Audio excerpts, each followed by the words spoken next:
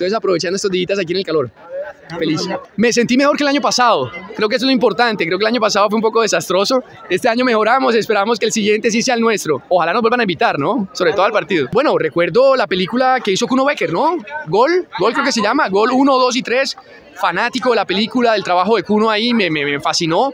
Eh, diría que esa, sin duda. Para mí esa, sin duda. Jugando con las estrellas, nos faltó Kuno aquí para que nos apoyara porque, a los actores, porque no, no, no, no salió como esperábamos, pero feliz de compartir, por ejemplo, con Mascherano, que, bueno, con un placer y no me lo imaginé nunca en mi vida, así que feliz, feliz de estar acá. Démonos también ánimo, Enrique, Enrique hizo varios goles.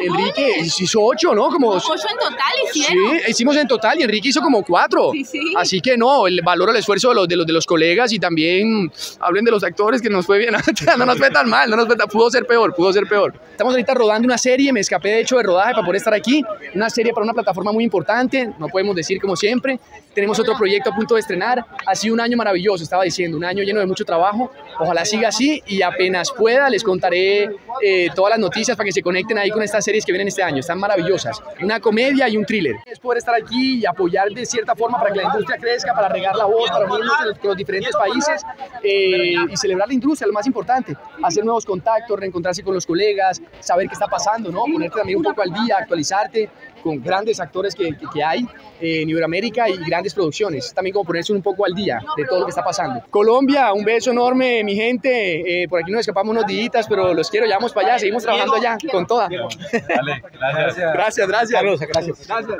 En el canal de YouTube del Tiempo encontrarán noticias de Colombia y el mundo. También series originales, documentales y reportes de nuestros corresponsales. Suscríbase y active la campanita.